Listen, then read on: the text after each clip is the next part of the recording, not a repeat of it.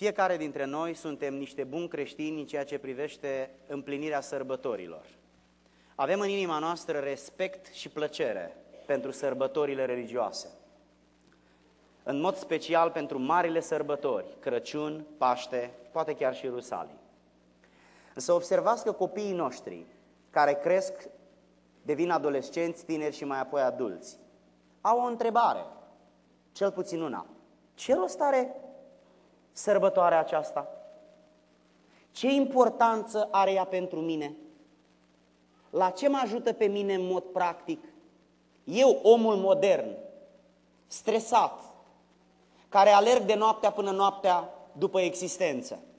Eu, omul care conduc mașini, care lucrez la computer, care nu mai, așa, nu mai am așa mare legătură cu cultura neamului meu. De ce sunt importante pentru mine sărbătorile acestea în mod practic? Dincolo de importanța lor religioasă, care nu interesează pe toți. De ce trebuie să avem interes pentru aceste sărbători? Unde anume este importanța lor? Privim în această seară, în seara Paștelor, în seara în care celebrăm învierea Domnului Isus Hristos și ne întrebăm, care sunt beneficiile învierii? Există în înviere beneficii fără de care suntem niște nefericiți? În buletinul duminical aveți schița predicii pe cei care vă interesează dintre dumneavoastră să o urmăriți, eventual să vă așezați acolo gânduri. Și observați că primul lucru pe care l-am pus acolo este faptul că învierea Mântuitorului Iisus Hristos arată puterea lui Dumnezeu. Faptul că Iisus Hristos s-a născut într-un mod unic, dintr-o fecioară, faptul că El a înviat după ce a murit, arată puterea lui Dumnezeu. În primul rând, arată puterea lui Dumnezeu prin împlinirea profețiilor. Cu sute de ani înainte să se întâmple, Dumnezeu a anticipat, a profețit în Biblie că Fiul Său se va naște, va crește, va muri, va învia și se va înălța din nou la cerurile din care a venit. În Matei, capitolul 28, versetele 3 și 4, cuvântul Domnului ne prezintă înfățișarea Domnului Isus Hristos. Și în Psalmul 16, versetul 10, cuvântul Domnului spune Nu vei lăsa sufletul meu în locuința morților și nu vei îngădui ca prea iubitul tău să vadă putrezirea.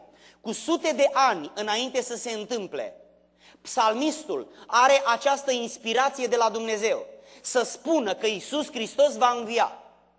De obicei, oamenii când mor, nu mai înviază. De obicei, când un copil se naște, se naște din împreunarea naturală dintre soț și soție, dintre bărbat și femeie. Iisus Hristos s-a întrupat venind în lumea noastră printr-un miracol, numai din fecioară.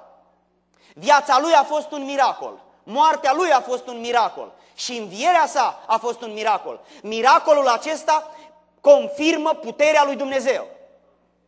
Învierea Domnului Isus Hristos arată în primul rând puterea lui Dumnezeu care domină moartea, care controlează moartea și care stăpânește moartea. Ce bine mă simt eu, copilul Domnului.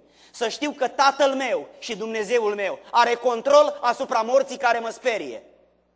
Atunci când o boală se apropie de mine, atunci când o analiză nu iese bine, atunci când doctorul îmi pune semnul de întrebare asupra sănătății mele, un gând viclean încolțește în mintea mea. Mă ia, nopt, mă ia somnul greu noaptea și mă trezesc de dimineață și mă întreb, Doamne, cine o să-mi crească copilașii? Ce se va întâmpla cu mine, cu soția mea care rămâne în urmă? Și fiecăruia dintre noi este dragă viața și este frică de moarte, într-un anumit fel și într-o anumită măsură.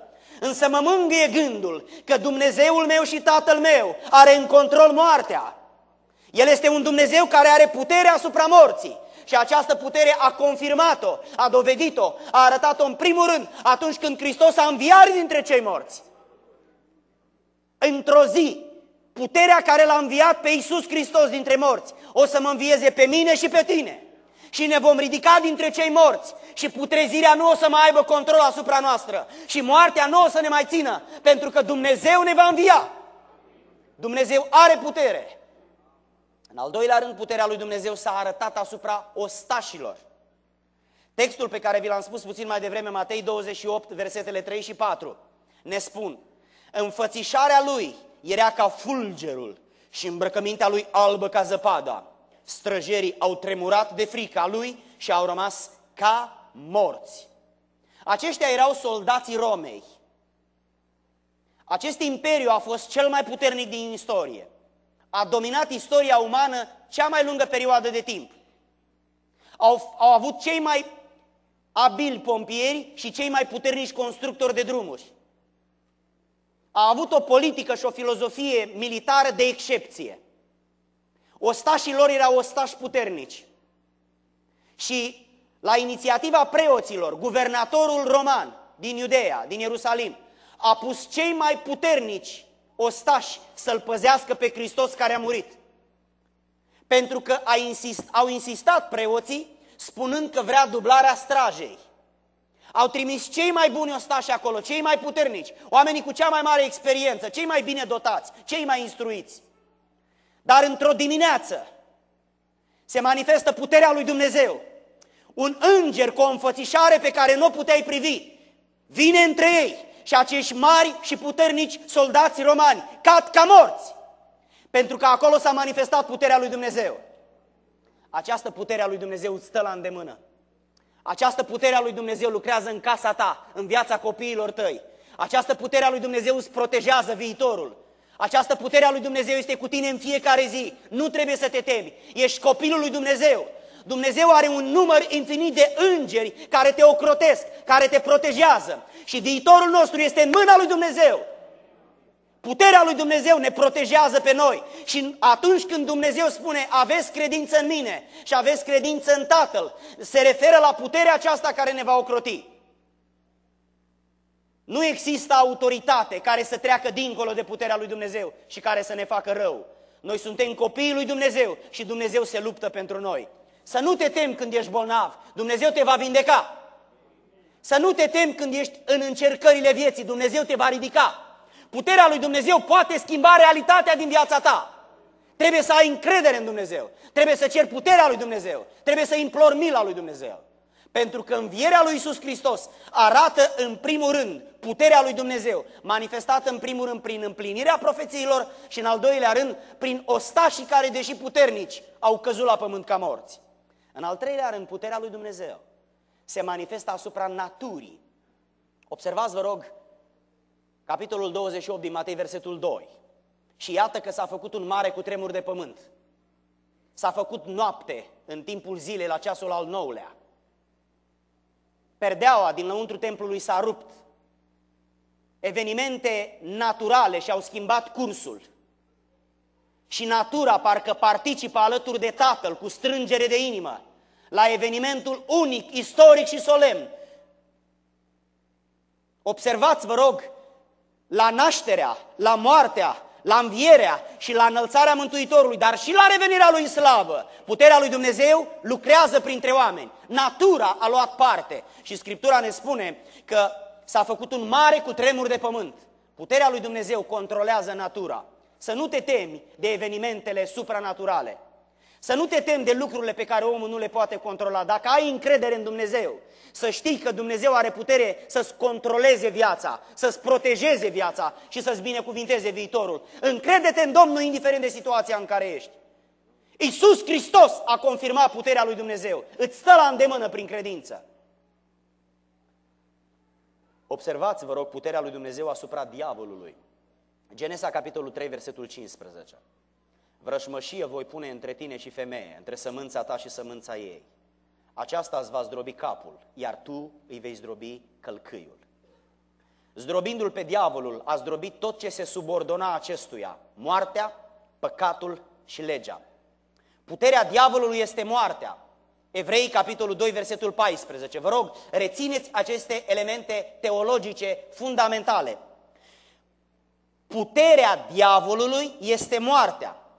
Diavolul are puterea morții. Puterea morții este păcatul. 1 Corinteni 15 cu 56. Boldul morții este păcatul. Puterea păcatului este legea. Iată, dar încă o dată, puterea diavolului este moartea.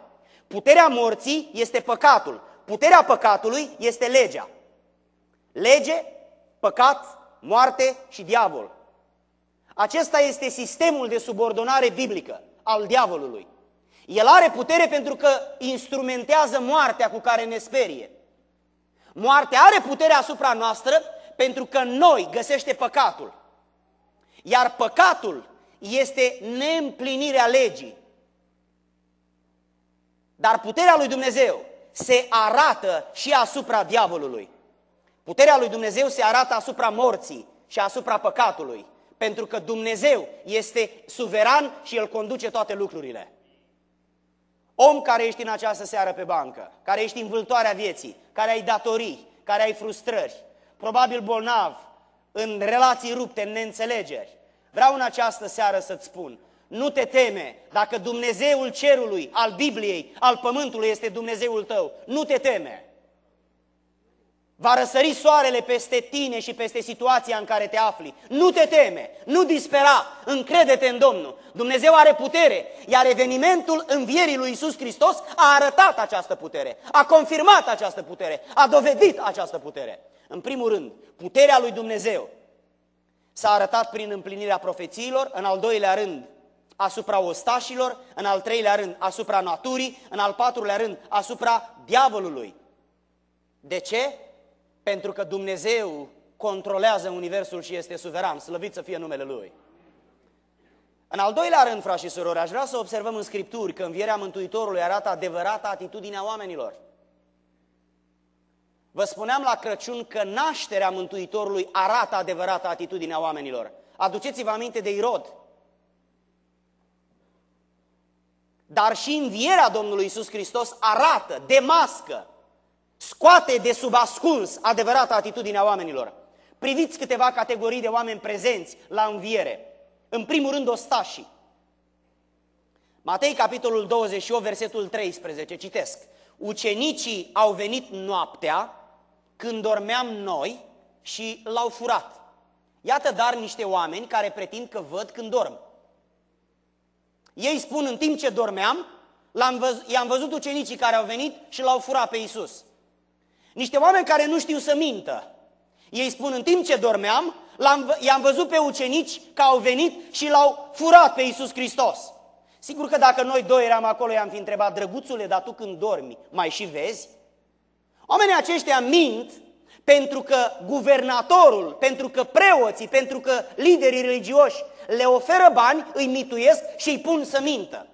Dacă învierea n-ar fi avut loc, oamenii aceștia foarte probabil că n-ar fi mințit, dar învierea Domnului Isus Hristos prezintă adevărata atitudine acestor soldați.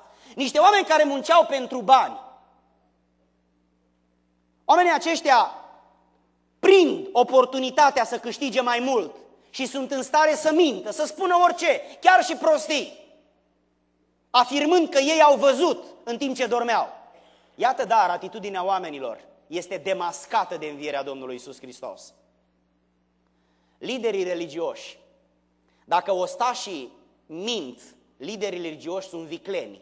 Matei, capitolul 28, versetele de la 11 la 14. Pe când plecau femeile, au intrat în cetate unii din străjeri și au dat de veste preoților celor mai de seamă despre toate cele întâmplate. Aceștia s-au dus împreună cu bătrânii, au ținut un sfat, au dat ostașilor mulți bani și le-au zis, spuneți așa, Ucenicii lui au venit noaptea, pe când dormeam noi și l-au furat. Și când va ajunge vestea aceasta la urechile dregătorilor, îl vom potoli noi, îl vom mitui noi. Iată dar niște oameni vicleni, niște oameni care stăteau pe scaunul lui Moise, dar erau niște oameni vicleni. Niște oameni care aveau perspectivele lor. Niște oameni pe care Iisus Hristos cu neprihănirea Lui a încurcat. Pentru că Iisus Hristos a venit la ei și le-a spus, voi care stați pe scaunul lui Moise și vorbiți din lege, de ce călcați legea? Farisei fățarni și vicleni, de ce călcați legea? De ce vorbiți de seriozitate și voi sunteți cei mai neserioși? De ce spuneți altora nu fura și voi furați primii? De ce învățați pe alții să fie blânzi când voi sunteți agresivi și răi? De ce vorbiți împotriva păcatului când voi îl beți ca pe apă? Viclenilor, de ce faceți așa? Ori tacma aceasta de așa zis slujitori ai vremii aceleia s-au simțit amenințați de neprihănirea lui Isus Hristos și au înțeles că ori își părăsesc slujba, ori îl omoară pe Isus Hristos. Pentru că Isus Hristos le-a spus, nu vă puteți face slujba cu o viață ca asta. Dacă vreți să învățați din Biblie, trebuie să aveți o viață neprihănită. Nu trebuie să vă rugați de ochii lumii.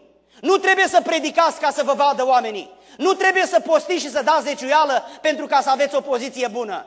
Trebuie să fiți blânzi, trebuie să fiți iertători, trebuie să aveți caracter. Dar oamenii aceștia erau niște bandiți care țineau scripturile în mână. Și Hristos a ridicat împotriva lor.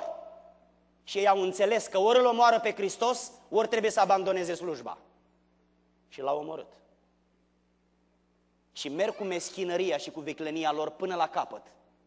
Și mint până la capăt. Și mituiesc până la capăt. Și își folosesc relațiile până la capăt. Și fac tot felul de coaliții murdare noaptea până la capăt. Coaliții murdare care l-au distrus pe Hristos. Dumnezeu ne, îi cere bisericii unitate, dar nu coaliție. În biserica lui Dumnezeu trebuie să existe unitate, dar nu coaliție. Coaliția este a diavolului, unitatea este a lui Hristos. Noi suntem chemați să facem unitate ziua, nu coaliții noaptea. Nu să facem coaliții pentru a-l distruge pe unul sau pe altul, care devine o amenințare pentru viclenia noastră. Așa au fost oamenii aceștia. Au confundat coaliția cu unitatea și s-au dus cu viclenia lor până când l-au distrus pe Domnul. Iisus, prin învierea sa, demască coaliția lor, demască viclenia lor. Priviți, vă rog, că învierea Domnului Iisus Hristos arată adevărata atitudine a ucenicilor, necredința. Luca, capitolul 24, versetul 11.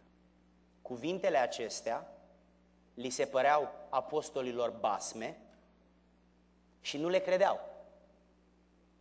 Când s-au întors femeile de la mormânt cu mesajul Nu mai este Domnul, a înviat! Biblia afirmă Ucenicilor li se păreau cuvintele acestea basme și nu le credeau. Dacă n-ar fi fost o înviere, noi n-am fi știut că ucenicii s-au îndoit. Dacă n-ar fi fost o înviere, noi n-am, n-am fi știut că ucenicii aceștia au fost necredincioși în momentele de criză ale existenței lor, ale relației lor cu Isus Hristos. Dar există o înviere. O înviere care îi surprinde în necredință și necredința aceasta devine eveniment istoric. Este consemnat în Scriptură și oriunde va fi citită Biblia aceasta, se va citi despre necredința lor. Astăzi, prietene, ai impresia că ești un om sfânt, te furișezi în mulțime și în fața unei vieți cu slăbiciuni, cu păcate, afișezi o aparență religioasă și ai impresia că nimeni nu va ști ce ai făcut. Dar când va reveni Hristos, Domnul, atunci adevărata atitudine a minții, a inimii, a relațiilor va fi dată pe față. De aceea El va spune, vino sau du-te. Astăzi avem impresia că suntem la fel. Suntem aici probabil mai, mai bine de o mie de oameni. Stăm înaintea lui Dumnezeu și între noi nu există nicio diferență. Dacă ne rugăm, ne rugăm cu toții. Dacă citim Biblia, o citim împreună. Dacă cântăm, cântăm împreună. Și ai zice că suntem la fel. Dar când se va întoarce Domnul, El va face o diferență. Dintre zece vor pleca cinci. Dintre două femei care macină la moară, va pleca una. Dintre doi care vor sta pe acoperișul casei, va pleca unul. Și dintre doi care vor dormi în același pat, va pleca unul. Ceilalți vor rămâne. De ce? Pentru că până atunci părem la fel. Însă atunci revenirea lui Isus Hristos va demasca identitatea fiecăruia și va scoate adevărul la iveală, un adevăr care a fost ascuns în spatele unei minciuni. În seara aceasta de Paște, prietene care stai în sală sau la balcon, bărbat sau femeie, indiferent de vârstă, indiferent de experiențele pe care le ai, vreau să-ți vorbesc personal. Ești doar un om și nu știi cât mai trăiești. Vei pleca la Domnul poate la noapte sau El se va întoarce la noi poate la noapte. Poate aceasta este ultima zi pe care ai trăit-o. O zi în care ai mâncat, o zi în care ai despachetat iepurași colorați, o zi în care ai venit la biserică pentru că e Paștele să asculți o predică. Ascultă-mă! Hristos îți vorbește în această seară și te provoacă. Nu mai este mult și va reveni pentru ca să te măsoare, să te cântărească și să spună notă. să-ți spună, du-te blestematule sau vino binecuvântatule. Se va întoarce Hristos. Se va întoarce Hristos. A promis că va veni și a venit. A promis că va muri și va învia și a murit și a înviat. A promis că se va ridica la cer și s-a ridicat. Și a promis că îl va trimite pe Duhul Sfânt și l-a trimis. Pentru că El este Dumnezeu. El se ține de cuvânt. Te rog în seara aceasta, gândește-te la viața ta. Gândește-te la viitorul tău. Ridică-te din păcat. Ridică-te din adormire, ridică-te din irresponsabilitate, apucă mântuirea lui Dumnezeu, dă năvală pentru împărăția lui Dumnezeu. Înțelege la ce te cheamă Domnul și cu toată dragostea dedică-te lui Hristos, pentru că nu mai este mult și adevărata atitudine a vieții tale și a vieții mele va fi demascată de revenirea lui Isus Hristos. Până atunci, mai ai șansa, ce faci cu ea? Ce faci cu ea? Ce faci pentru soțul tău, pentru soția ta? Ce faci pentru copiii tăi și pentru părinții tăi? Ce faci? Femeile convertite. Observați, vă rog, că învierea Domnului Isus Hristos demască, arată adevărata atitudinea oamenilor. Ostașii, liderii religioși, ucenicii și femeile evlavioase. Luca și Ioan și Matei vorbesc despre ele. Să citim în Ioan, în capitolul 20, versetul 1. În ziua din tâia săptămânii, femeile acestea și altele împreună cu ele au venit la mormântiți de dimineață și au adus miresmele pe care le pregătiseră. Au adus miresmele pe care le pregătiseră. Observați că aceste femei au venit acolo. Priviți, vă rog, ce se întâmplă în grădină. Ucenicii merg la mormânt. Și cuvântul Domnului în Ioan, capitolul 20, versetul 10 ne spune, după ce au văzut mormântul gol, s-au întors acasă. Dar Maria a rămas acolo, plângând. Sesizați diferența? Și ucenicii și Maria în grădină. Văd mormântul gol toți trei. Dar după ce văd mormântul gol, ucenicii se întorc acasă. Maria rămâne acolo. Rămâne în cimitir, rămâne în fața peșterii goale, rămâne în grădină, plângând. Ea nu s-a întors acasă. Pentru că inima unei femei, odinioară destrăbălate și schimbată de puterea și de mila lui Dumnezeu, a rămas acolo plângând. Întotdeauna dragostea plânge. Întotdeauna dragostea rămâne. Întotdeauna dragostea rabdă. Întotdeauna dragostea așteaptă. Întotdeauna dragostea poate. Întotdeauna dragostea face sacrificii. Femeia aceasta a rămas acolo. N-a plecat acasă, au plecat ucenicii. A plecat Marele Petru, a plecat Marele Ioan și rămâne doar o femeie.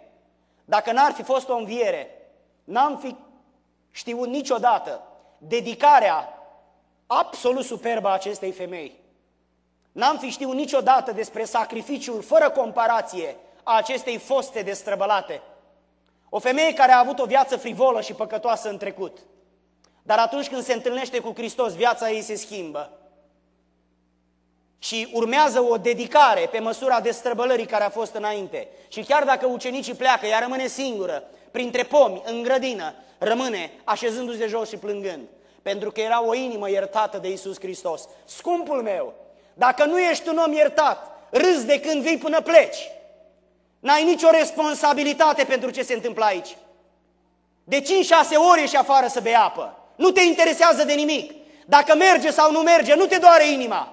Dacă este sau nu merge, nu, dacă, dacă este sau nu este, nu te interesează. De ce? Pentru că nu te-ai întâlnit cu El.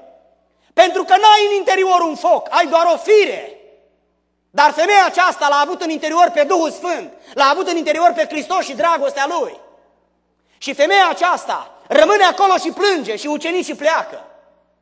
Bărbații cu care Dumnezeu schimbă istoria pleacă și rămâne o femeie. O femeie rămâne și plânge. Dacă n-ar fi existat o înviere, n-am fi știut niciodată de ce este în stare femeia aceasta. O femeie care merită respectul și exemplul ei are puterea asupra noastră. Frați și surori, observați, vă rog, că femeia aceasta a rămas acolo pentru că Isus i-a făcut bine. Mi-aduc aminte de o întâmplare într-un sat, după cel de-al doilea război mondial, un bărbat destul de tânăr, absolut în fiecare duminică dimineața.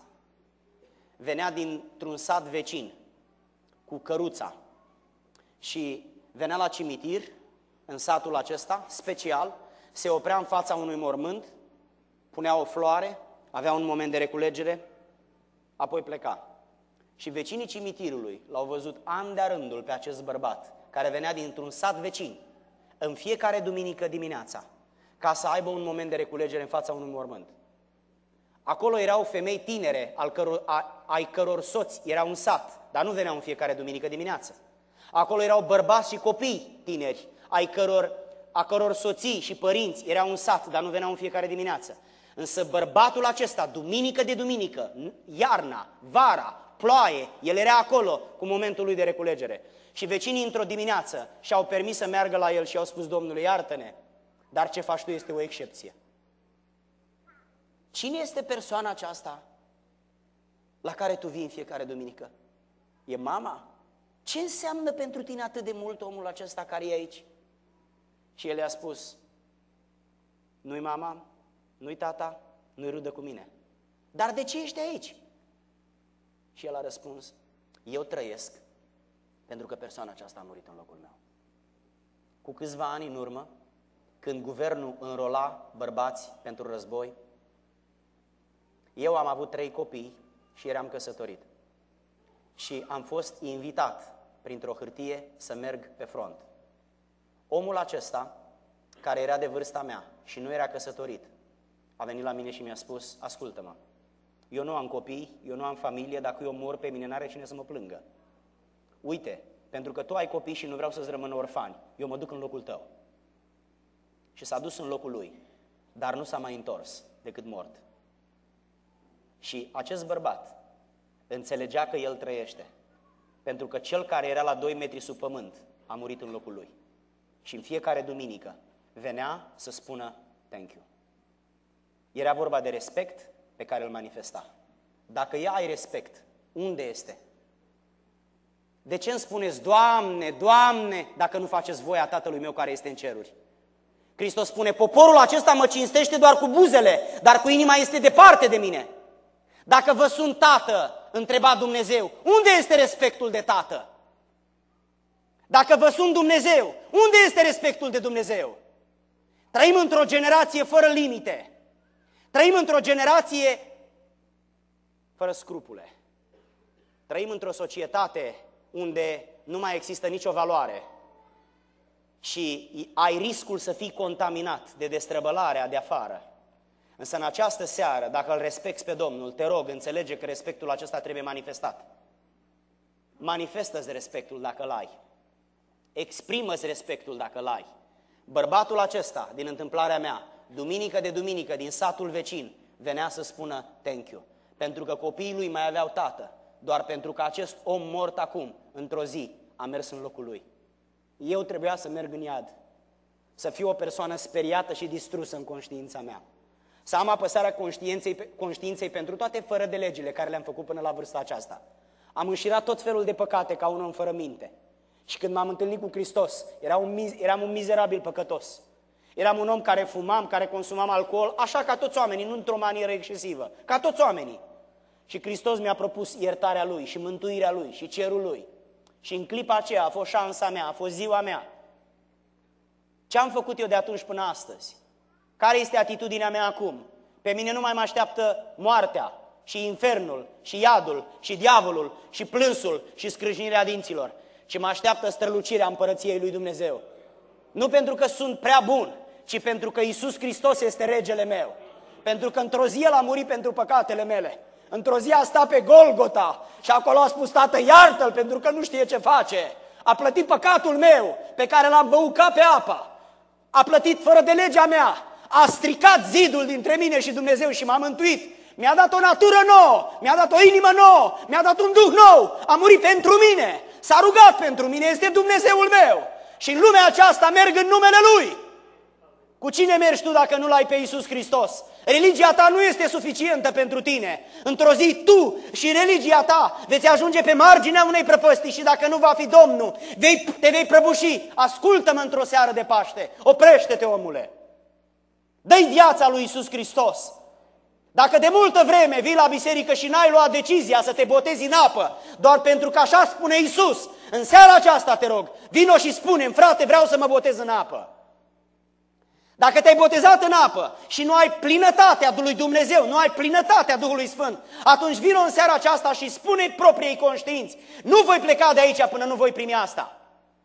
Dacă stai în casa lui Dumnezeu de ani de zile și ești un om care încurci, care te duci unde nu trebuie și care nu te duci unde trebuie, în seara aceasta spune, Doamne, mă jenez, pentru că de zile întregi oamenii aceștia am spus să nu mai fac asta și eu fac. Oamenii aceștia spun, nu te mai așeza pe banca aceea și tu te așezi și nu-ți pasă de nimeni, că ești într-o țară liberă. Țara aceasta liberă într-o zi va lua foc. Țara aceasta liberă într-o zi va lua foc. Și vei arde cu ea dacă nu te pocăiești. Și voi arde cu ea dacă nu mă pocăiesc. Ascultă-mă, prietene. Și americanii mor, și americanii merg în iad. Iisus Hristos este regele. Iisus Hristos este Dumnezeu. El are toată puterea în cer și pe pământ. Iisus Hristos mântuiește. Și legile lui Dumnezeu nu sunt în Constituția Americii, ci sunt în Biblie. Noi respectăm legile statului, pentru că așa ne-a spus Isus, dar respectăm și cuvântul Domnului. Nu suntem niște emancipați ai secolului 21 care călcăm în picioare sângele lui Isus care a întipărit cartea aceasta. Respectăm cartea aceasta. Adorăm cartea aceasta. Citim cartea aceasta. Și vom muri cu ea în mână, și cu ea în inimă, și cu ea în suflet, pentru că este cartea lui Dumnezeu. Aici este iubirea Dumnezeului meu, aici este voia Lui, aici sunt cuvintele Lui. Respect cartea aceasta. În al treilea rând, în această seară, în ultimul rând pentru mine,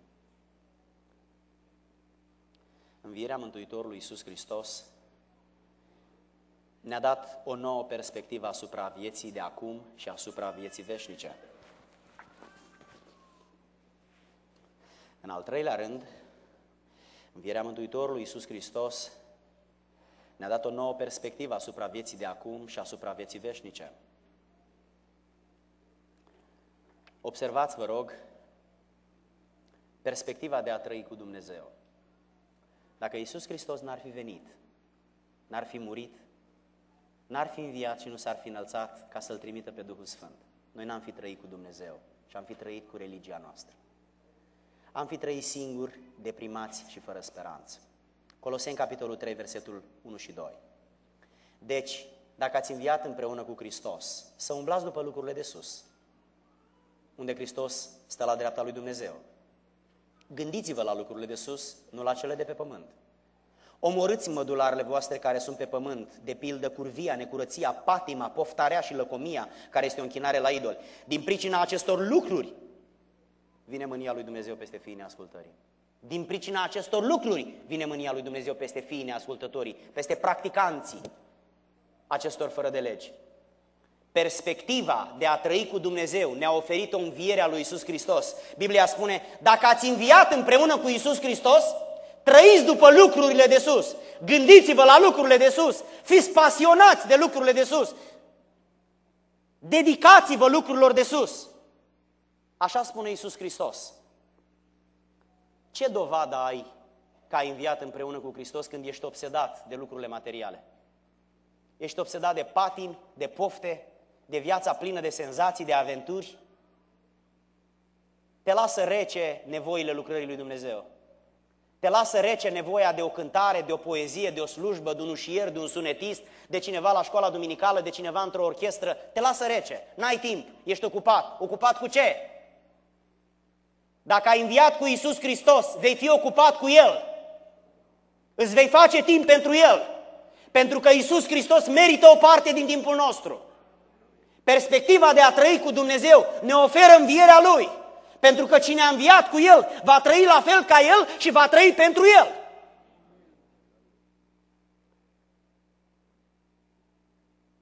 Deci învierea Mântuitorului Iisus Hristos ne dă perspectiva de a trăi cu demnitate între limitele Bibliei.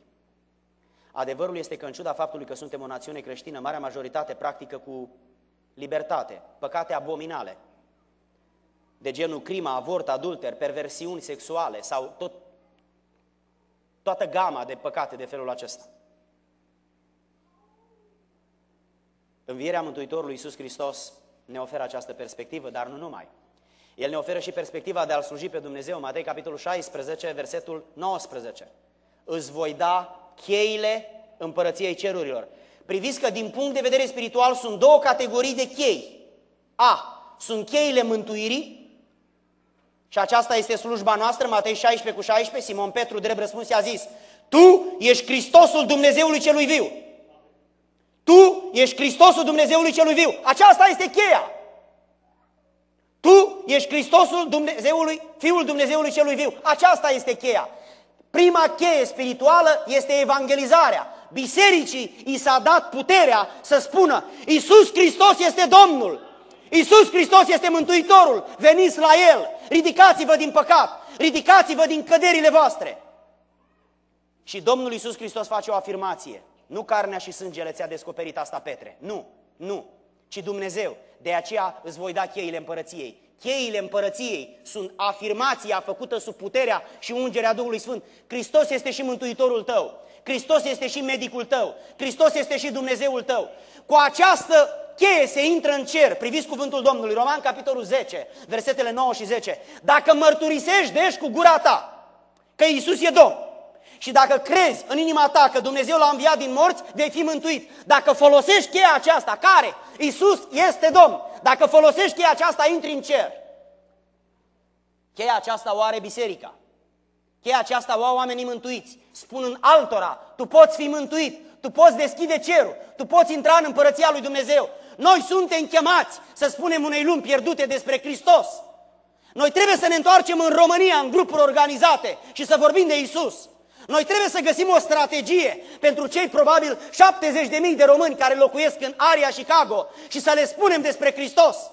E adevărat că trebuie să ne construim case, că trebuie să ne luăm mașini, că trebuie să mergem în vacanță, dar trebuie să facem și evangelizare. Că dacă nu spunem noi că Isus Hristos a înviat, cine să spună? Indiferent ce vei face, Hristos se va întoarce și te va cântări, găsindu-te greu sau ușor. Te rog în această seară ia o parte din banii tăi și dă lui Dumnezeu.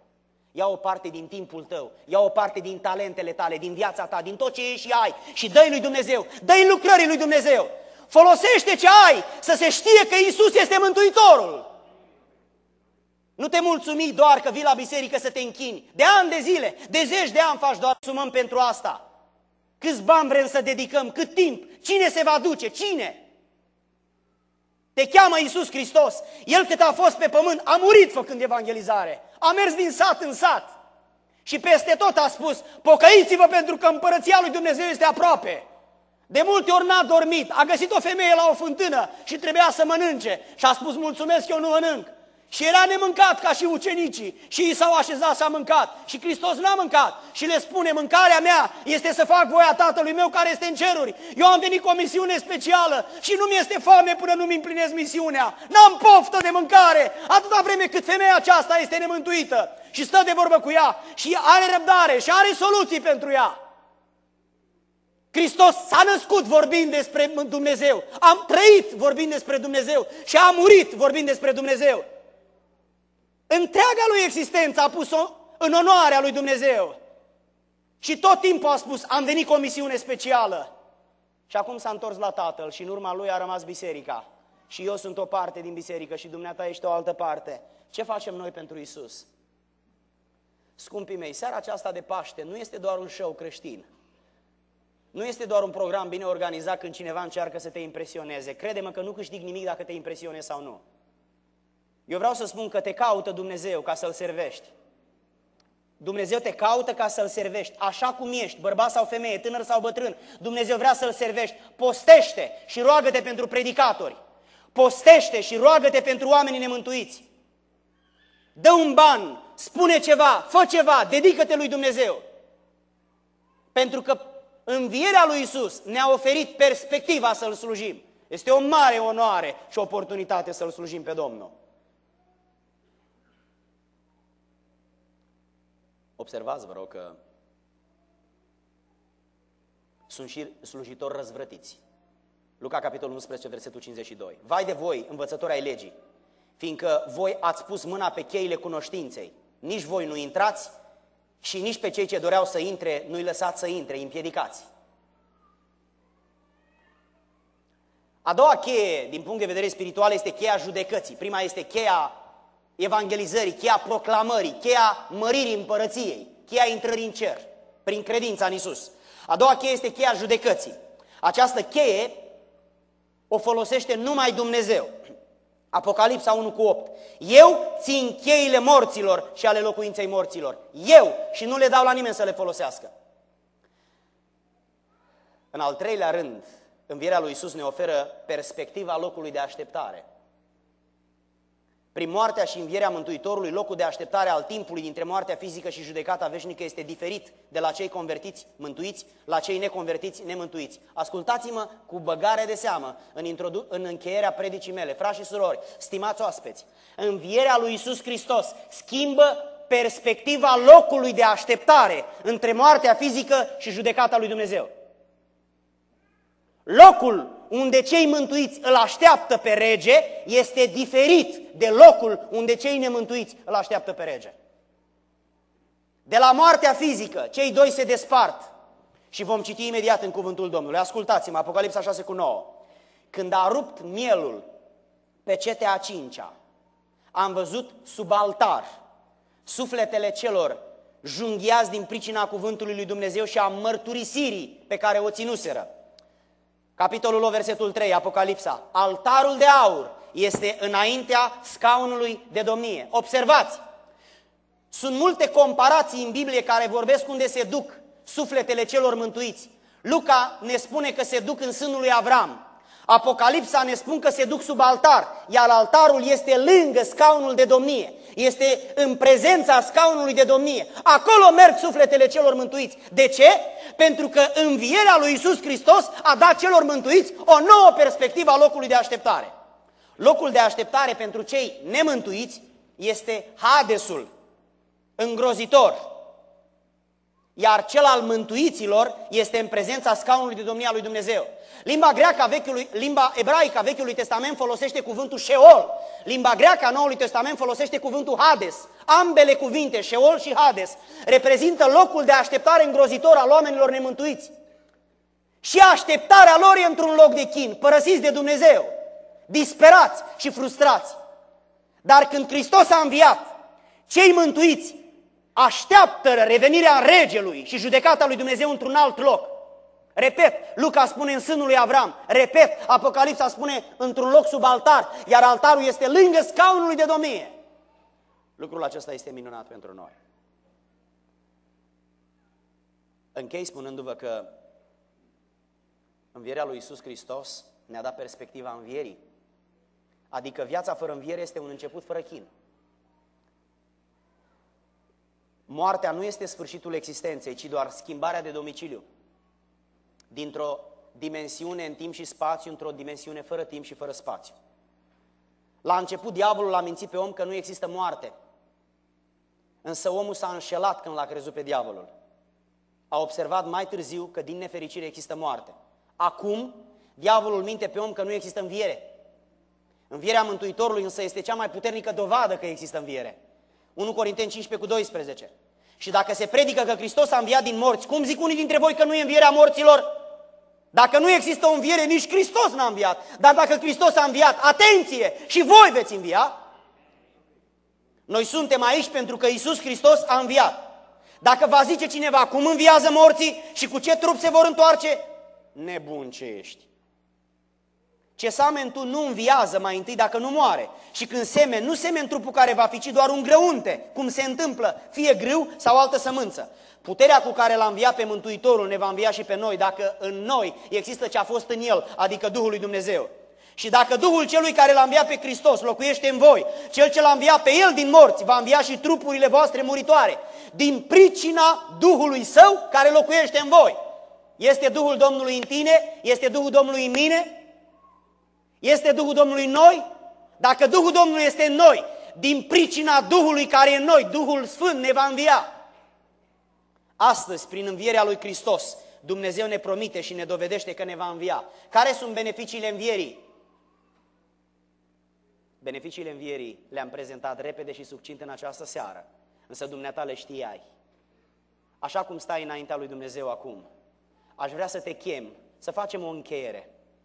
Să facem o încheiere a acestui timp. Într-adevăr, sunt câteva minute peste limita programului, dar este Paștele. Și o altă sărbătoare de Paște va fi doar peste un an de zile. De aceea ne permitem în seara aceasta să mai rămânem puțin înaintea Domnului și să încheiem slujba divină din această seară. Dumnezeu ne-a vorbit. Cum reacționăm? Dumnezeu nu ne vorbește doar ca să devenim mai cunoscători de Biblie ca până acum, ci Dumnezeu ne vorbește ca să devenim mai împlinitori ai ceea ce am auzit.